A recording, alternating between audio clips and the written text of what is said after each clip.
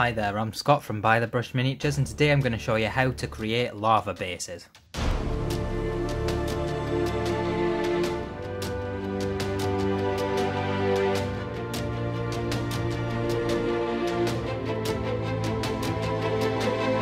The first thing you're going to need is some Mephiston Red and we're just going to start by base coating the whole base in Mephiston Red. Now once you've got that Mephiston red base coat on the base, the next thing to do is get some Trollslayer Orange and with that we're just going to apply a stipple just to certain areas of the base. Just get a bit on the brush and for this I'm using the vehicle slash terrain brush, basically the big army painter one. And it, it's it's just uh, just kind of taking out of the pot and dabbing it onto the palette a bit, just working it into the bristles. You don't want it on all the bristles because you want the effect to be quite random. So now what we're going to do is just sort of stipple it on just like that. In just some random areas. Bit more paint on the brush. Just working it into the bristles. Then just using the corner. And once that's dry, we're going to do the same technique again, but this time with Ratskin Flesh. Now this paint's a little bit thicker, so just be careful how you apply it.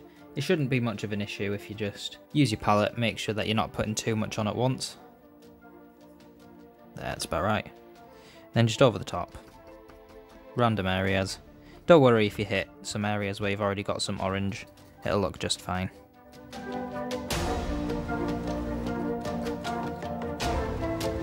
And well, I think that's about right.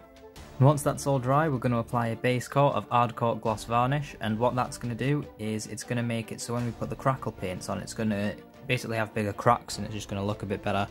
It's just going to give the effect that we want a bit better. So I'm just going to load quite quite a bit on my brush. I'm using the uh, Monster brush for this. Quite a bit, and put on the palette. Yeah, that'll do, because as I said, we want quite a thick coat of this. Just applying it all over the base. Once that dries, at first you're going to have a shiny effect, but don't worry about that because when we're done, it's going to, going to have disappeared by then.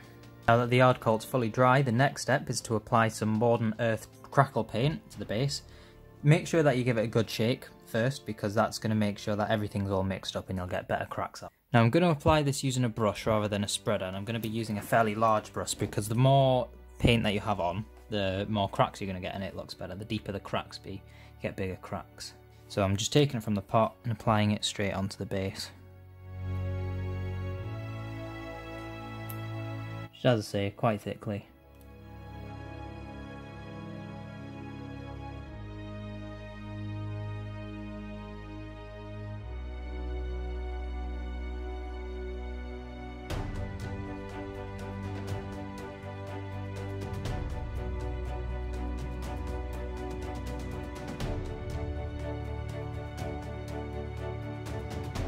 When we start to get to this point where you can't really use this brush anymore because it's a bit big, we're going to just switch to the texture spreading tool. We're just going to use that instead, just making sure that we are still getting some good gunks of, uh, of paint on there. Any areas where the red is still like really really showing, you can just use the use the slim end of it and pull it across. Now, rather than waiting for this to dry, what we're actually going to do is we're going to get a hair dryer. And the reason for that is because we want it to dry uh, air with heat and we want it to dry quickly because what that's going to do, the heat and the speed, all the air from the dryer, a lot a mixture of everything is just going to make the cracks a lot deeper and it's going to make the effect that we want much, much better.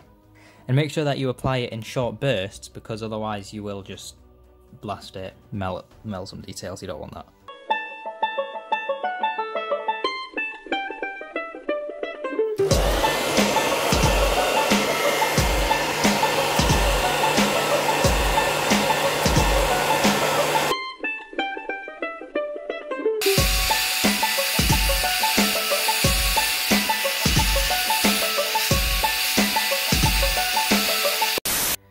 That's done and you can see we've ended up with this really nice volcanic looking effect.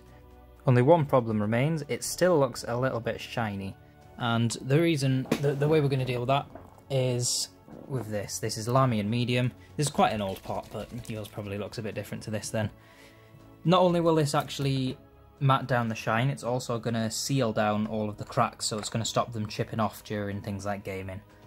For this I'm just going to use my regiment brush, just get good amount of it on the palette. Then just apply it all over.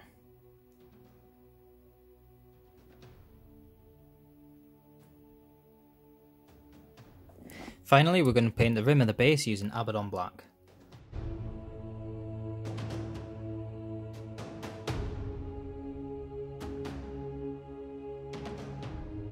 And there we have a fully painted lava base.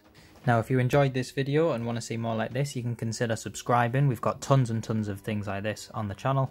If you want to support us, you can follow the links in the description to our Patreon. There's also our Instagram down there where you can have a look at some of the things we're working on, video content or our own project. Plenty of stuff to look at. And that's going to do it for this one, and I'll see you next time.